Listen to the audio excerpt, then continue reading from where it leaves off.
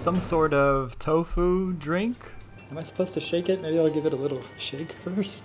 Here's the crispy chicken skin thing.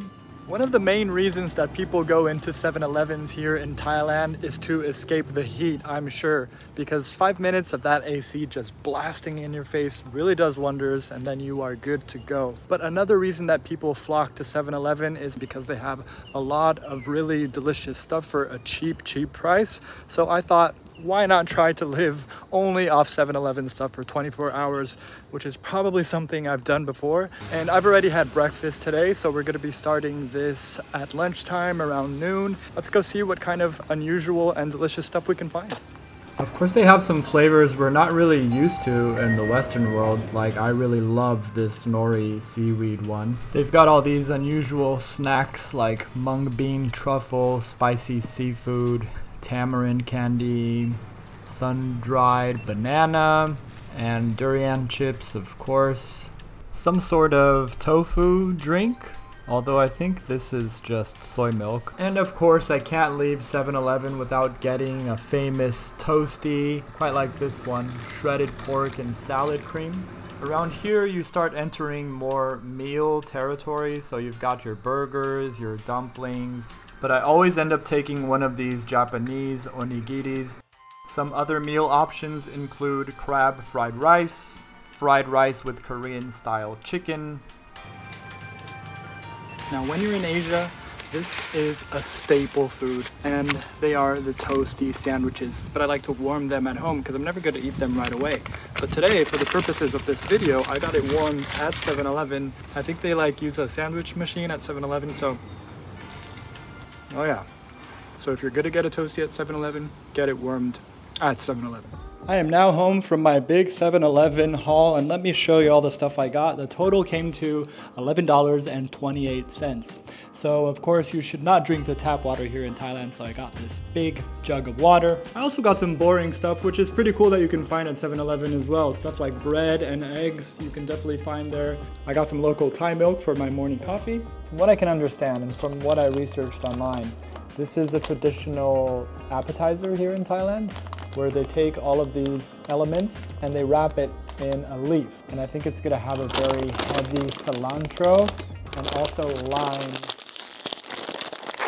flavor. Here we go. Mmm. All right, I can really taste that lime in there. It's actually really good. It might even be better than the seaweed. And in the snack department, I also got this barbecued chicken looking kind of thing. And it literally feels like there's about six items in there. Here's the crispy chicken skin thing. They only kind of fill it one third of the way, but let's try it either way.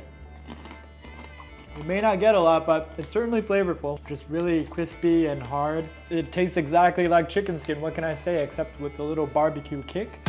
So I don't know if I'd buy it again just because you don't get a lot inside, but it is delicious. Some of those 7-Eleven meals go for 60 baht, which is about $1.60. Now, if you times that by three and then by 30, it comes out to less than $150 a month on food. And I'm not suggesting that you spend your month eating 7-Eleven food, but what I am saying is that food is incredibly affordable here in Thailand. And as for the meals, today I went for the stir-fried soy sauce noodles with pork. Of course, you already know about my half-eaten toasty. I also got this corn drink, which I have no idea what to expect. Am I supposed to shake it? Maybe I'll give it a little shake first. It does say golden sweet corn, so maybe it's like a dessert drink. Mmm, that's actually really good. I love it. It is sweet and it does literally taste like corn on the cob, which is a strange combination, I know, but it's actually very refreshing and I would drink this again. You don't expect me to live tonight without a nice big chang, so I got me one of those. You gotta at least commend me for trying to be healthy. I've actually had the Caesar salads from 7-Eleven before and they are pretty good too. And of course, you cannot visit a convenience store in Asia without grabbing yourself an onigiri. This is also a staple food. So pretty much a rice ball with salmon, stir-fried soy sauce noodles with pork. So now let's pop this baby into the microwave. Here we go. While the noodles are in the microwave, this is a good time to talk about this stove right here. Now I've been in Chiang Mai for about 20 days and I have not turned this stove on once. There's too many easy and affordable options for food otherwise, whether it be 7-Eleven food, street food, delivery. Look at this. Everything you need. Noodles, eggs, veg, garlic, pork. This is one of the best um, dishes I've had at 7-Eleven. It's really garlicky, which I love. Remember these guys from earlier? Sprinkle some of that on top, give it that crunch factor.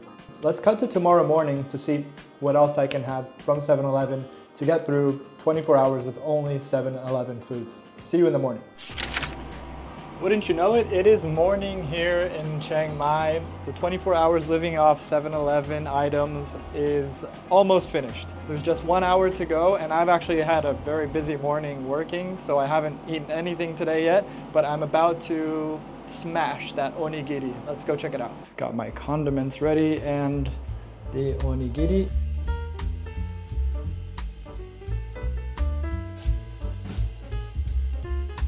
Voila! All right, here we go. Oh yeah, nothing like corn in the morning. I still have this Caesar salad to get through as well. So as you can see, like you can really live off 7-Eleven items for a long time and this will get me straight through lunch. That was quite the 7-Eleven adventure, but it's safe to say there are better ways to experience Thai culture.